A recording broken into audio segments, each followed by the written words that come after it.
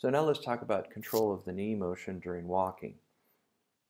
So this graph will be helpful to you because it gives you the geometry of the limb at initial contact, foot flat, mid stance, terminal stance, and we know this is terminal stance because the pelvis is in front of the foot, pre-swing, and toe off relative to the ground reaction force vectors. And what we can see is essentially the knee joint center is posterior to the ground reaction force vector at initial contact, then it switches to being anterior, then it's in line, then it's posterior again, then it's in line, and then it's anterior again. So this should telegraph to you that the control of the knee is going to be complex, switching from knee flexion to extension in the sagittal plane several different times during the gait cycle.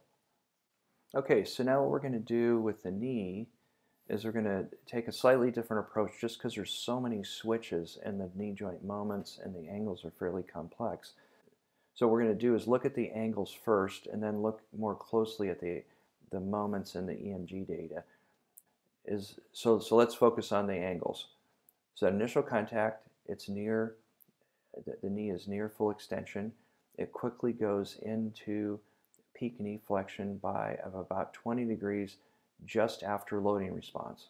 There's loading response. So in early mid stance, we reached a peak of, of 15 of 20 degrees at about 15% of, of the stance phase. So then as we kind of now go, now we have rapid knee extension that peaks or gets to full extension right around 40%. So that's through mid stance and then halfway through um, terminal stance. And then we have a second event here in terms of motion. We have gradual knee flexion followed by rapid knee flexion.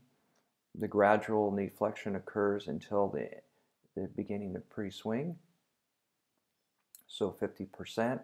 And then we have rapid knee flexion that lifts the toe, gives us toe off, contributes to toe off, and then we have continued knee flexion through uh, early swing into mid swing, and then this knee flexion helps us clear the limb.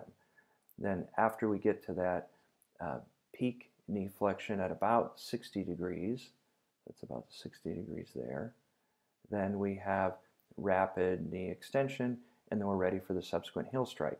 So some key features are 0 degrees of knee flexion initial contact, 20 degrees of knee flexion um, at about 15% of stance, early mid stance, 0 degrees of knee position at 40% or halfway through terminal stance, and then peak knee flexion at mid swing um, out of, of about 60 degrees, and then return to um, and zero degrees of knee flexion in preparation for subsequent heel strike. So those are the key features that you're responsible for for gait. So now let's focus in on this loading response knee flexion that's occurring and see what controls occurring there. Okay, so here's the moments and what we want to focus in on is this first part of gait here, which is 10% to about 15% where the knee is going into flexion. And essentially what we notice is the knee flexors are the agonist till about 5% of the gait cycle. And then the knee extensors become the, the primary agonist up till it reaches its peak. And so let's look, take, we only have two muscle EMG patterns here, so we're going to take a look at a more complex look at the, the EMG patterns here in a minute. So here we have the uh, medial hamstrings, lateral hamstrings, rectus femoris muscle, and then the vastus lateralis. We know that the hamstrings look pretty similar with high activation early in stance and then late in the gait cycle. And then we also have for the for the quad, we have the rectus femoris and vastus lateralis muscle have really high activation early, and then the rectus has this high activation in the middle of um, the gait cycle, just just past like toward pre-swing and that there's not much kind of activation here in the quadriceps or the vastus lateralis later. So the vasti muscles like medialis and intermedius tend to follow the, the vastus lateralis and then the rectus femoris stands out as having an activation that's toward the end of stance and the beginning of swing. So now let's just focus in on these two points. We're going to call this initial contact, and then this second point here, we're going to call that um, uh, foot flat. And let's look at those two specifically.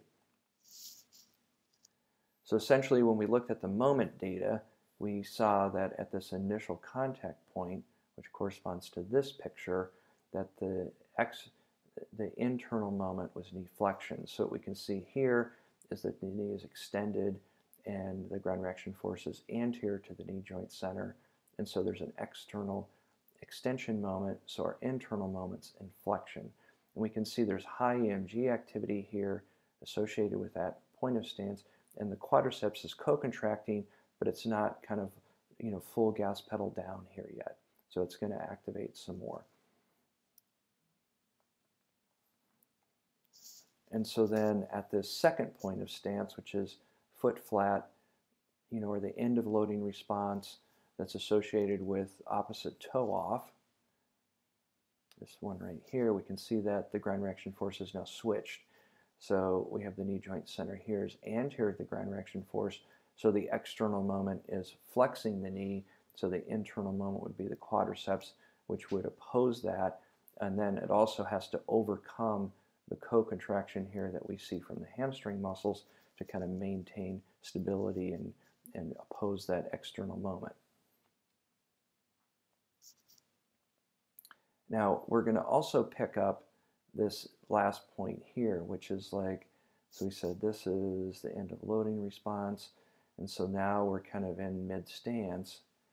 So in mid-stance, what's also happening is early on we have to, that knee flexion peaks here, but then we have to rapidly extend the, the knee again. And so what we can see here is essentially this, this quadricep contraction is now going to you know, go from controlling and stopping this peak knee flexion to then initiating a concentric knee flexion. So essentially what we're going to end up with is a stretch shortening cycle, and we'll see that in the joint powers. And so the, this remaining quadricep activation that's occurring up to 20% of the stance is causing the knee to extend.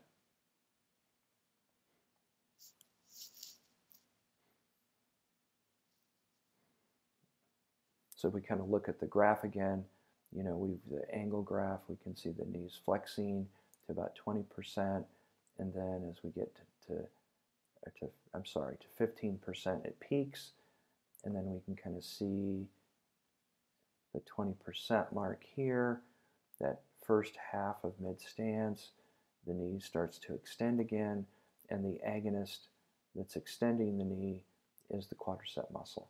And then at about 20% of stance, the agonist switches to the knee flexors. Let's try to understand then this section of the um, the knee angle data where the knee's extending up to about 40%. Okay, so if we kind of look at the moment data and the EMG data that we have down here, we know that essentially the, the knee's now extending through this period and reaching a peak at 40%. So this is 10, 20, 30, 40. So it's right at this point that the knee is fully extended. And we can see the flexors are on. Okay, so they're the agonist. So we look down here at the different EMG patterns, we can say is that essentially the bicep femoris is not on, and neither is the medialis because we know it follows that. The, the vasti muscles are not really co-contracting after 30%, and essentially the um, the anterior tib is doesn't act at the knee, but then the um, the soleus muscle here kind of mirrors the gastroc, so we can kind of think of this as gastroc EMG here. Okay, and so we could see that essentially the gastroc um, is probably the agonist that's contributing to this this uh, moment that's being generated at the knee. So what we could say is essentially is we know that the from 15% to 40% here, essentially that the the quadriceps is initiating that knee extension, but then the EMG suggests that the gastroc muscles are basically keeping the um, controlling the amount of knee extension that occurs as we go from uh, 20% to 40% of the gait cycle. Now, the other thing that's happening is after we hit 40%, as we go from 40% to 50%, so getting ready for pre-swing, so as we go through that late part of terminal swing, we know that once we reach that peak knee extension, that we need something to initiate knee flexion. And so the gastroc then is now concentrically contracting to kind of help us initiate that knee flexion up to about um, the beginning of pre-swing. And we can kind of see that here that the, now the moment is going to switch again um, to the extensor. Okay, so now what we want to do is study the, the angle pattern again. So we've, we've kind of taken ourselves through this initial contact with the knee fully extended to peak knee flexion at 20 degrees. Then we've gone from knee flexion to knee extension again. Then we initiated knee flexion here with the gastroc muscles. You can kind of see that in a moment, data here. So now we're gonna now we're gonna take it from pre-swing where we're just getting you know slow knee flexion to this rapid knee flexion up to about 60 degrees of knee flexion during mid-swing.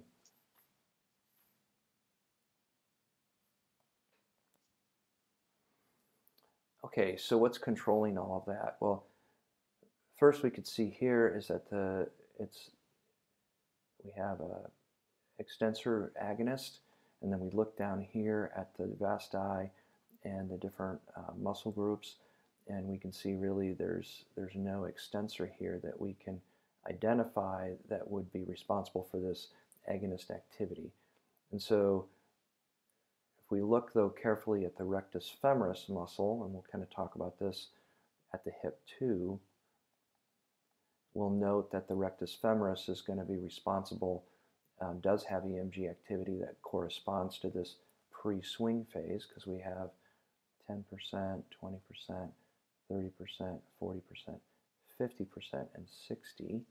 So this is pre-swing here, that during that pre-swing phase and then even early into initial swing, so this is 70, and we know that the transitions when the feet are adjacent around 73% of stance, we know that throughout this period we can get EMG from the rectus femoris muscle that then would kind of control the, the amount of knee flexion that's occurring. And so essentially what's flexing the knee, you might ask, and so let's try to explain that now.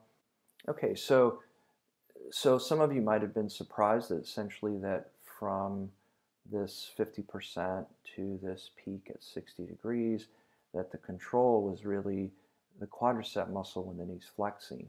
And so the question might arise is like, okay, we know that this initiation of knee flexion came from the gastroc, but what's causing the knee to flex here? And so essentially, it's, it's, we're going to say that this whole phase of knee flexion, then together with this knee extension, is really caused by the hip. So essentially we can kind of imagine it this way. So we'll take this first half of swing first. So if my knee starts in a relatively straight position here, and then I rapidly flex the femur, but I don't have any or much muscle contraction at the knee, gravity will continue to push the knee down, right? And so essentially the knee will flex really with no muscle contraction.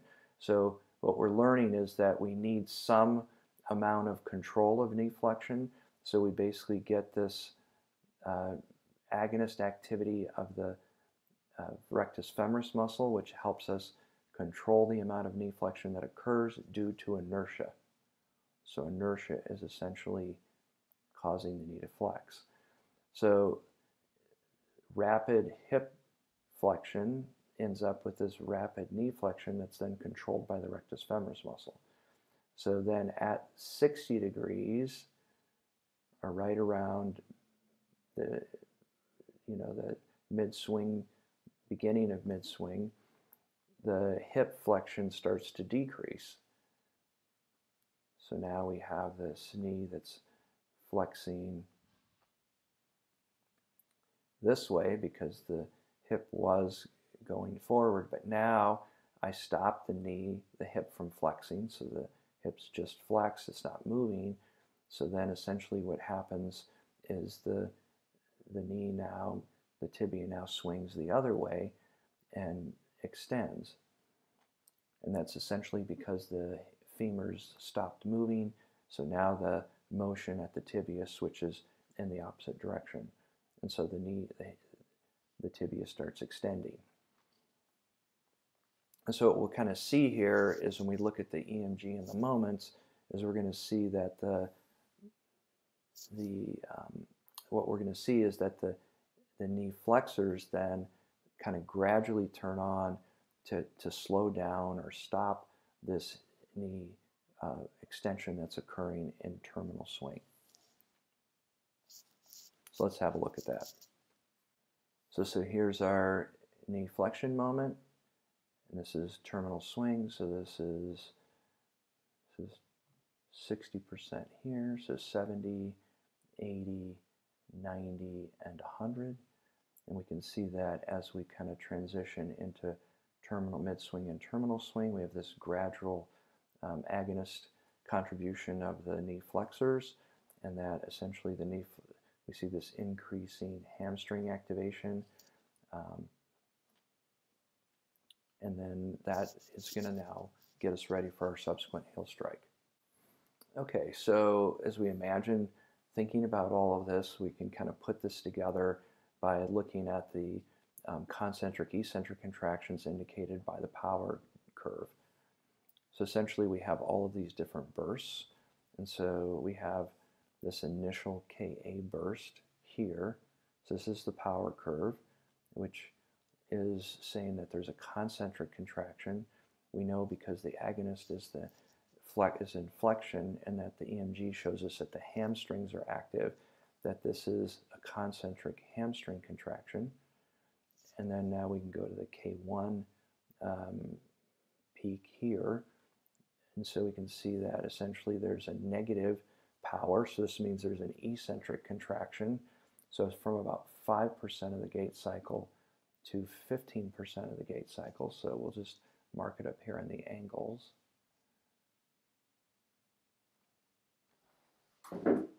There's a eccentric contraction of the quadricep muscle because we know the agonist is an extension and we saw the vasti EMG a minute ago. So we know essentially this is eccentric control to this peak knee flexion. And then the K2 burst here is concentric because it's positive power. So we know as we go from here to about 20%, so this 5% of the gait cycles associated with this K2 burst, power burst, which is a concentric contraction of the quads. So we have a stretch shortening cycle from the eccentric contraction of the quads here, controlling this knee flexion, and then immediately followed by a concentric contraction. And then now we have, as we get into this kind of rapid knee extension that's occurring up until about 40% of stance. This is 10, 20, 30, 40% of stance.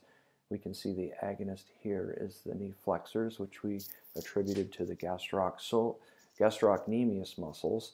And we can see here that this is now an eccentric kind of burst here which I don't have labeled here on the left, but that's eccentric gastrocnemius. So I do have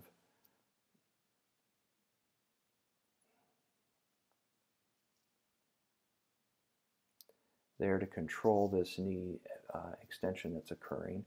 And then from 40% to 50% here, KB, here is the gastrocnemius concentric burst that initiates this knee flexion up to about 50%. And then we have this large K3 eccentric burst here, which we attribute to the rectus femoris muscle, which then kind of trails off. And so and what you can see is that the hip flexion is going to occur really rapidly. That hip flexion is going to cause knee flexion by inertia. And so just to kind of slow that down, we need this kind of quick burst from the rectus femoris muscle to kind of keep the right amount of uh, angular velocity of knee flexion. So we kind of peak right here at 60 degrees um, just after the end of um, initial swing. And so as we kind of get into mid swing here, then we have like very little power. So we're just kind of hanging out here in the middle because the, the inertia is what's, what's going to swing the limb now back into extension. And then we see this large K4 burst, which is really um, a eccentric um, contraction of the hamstring muscles to control this kind of rapid knee extension that's occurring here in mid and terminal swing. So this is 90%. There's 80, and then there's 100. And that sets us up for a subsequent heel strike. Okay, so let's try to use this information to identify um, what's abnormal about this, the knee, this same um, picture that we did for the ankle. So essentially, if we kind of identify the period of gait first, so we can kind of see whether in double support, and the toe is about to come off on the opposite limb, so we're really at the end of the loading response. So at the end of the loading response, we would expect the knee to be near full flexion, about 20 degrees of flexion, and it's extended. So that's abnormal. Okay, we would expect it to be um, flexed basically. So we could do the same here. We can kind of look at the period of gait and so say, okay, so here's uh, the stance limb, so left limb in this case. The opposite limb is anterior, so they're past uh, mid uh, initial swing, so they're into mid swing on the opposite side, and the heel is about to come up. And so in this particular case, we'd expect it to be, you know, 35, about 35% of stance. So we can say that right here, we're right in here. So there's 30% here, and then so we're somewhere in here. So the knee is fully extended. So at this, for this particular frame, the knee is normal.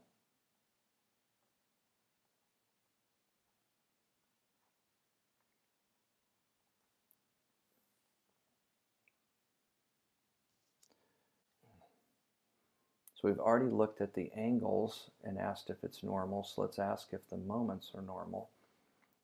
So we can kind of put the center of mass here and then kind of project the center of pressure anterior to the ankle because we thinking that the foot's fully in contact. And we can draw a representative ground reaction force vector there. We put the knee joint center here. So we notice that the external moment is toward extension. And so that means the internal moment would be toward flexion. So we can kind of see that at the initial contact point, because we're we think we're right we're right over here, at the end of loading response. And so we should really have an extension moment at this time. So this is abnormal. And so, you know, so this is abnormal and the quadriceps are not being recruited as they might.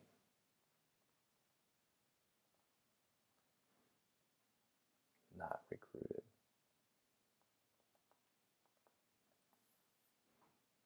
Okay.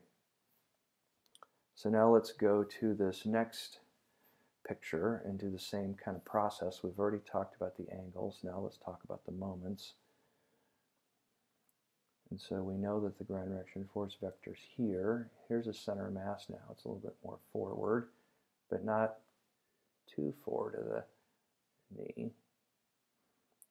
So here we have our external VGRF, our joint center.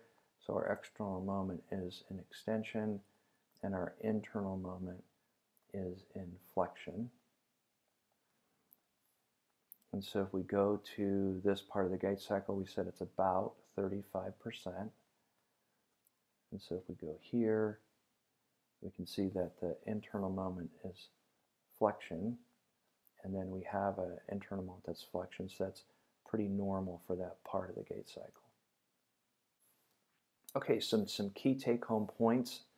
So the first key point we talked about last time for the ankle is that at 15% of the gait cycle, the tibia has to be stable so that the femur can rotate into this vertical position we see here.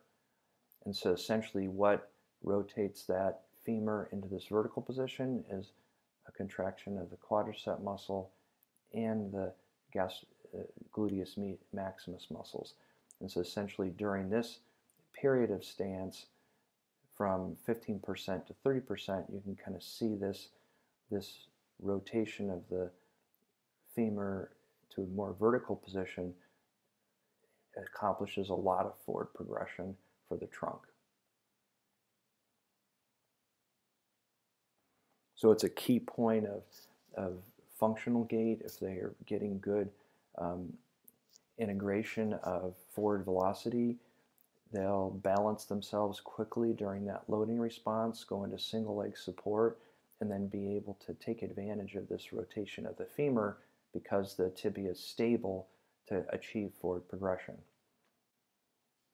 So just as some tips uh, for the knee, there's a lot of different uh, changes in the moments and powers for the knee. It's obviously the most uh, complex of the three joints we'll cover. Um, so the more systematic you can be, the better. Um, please ask lots of questions um, as we kind of move on to the. Please ask lots of questions and um, study the graphs.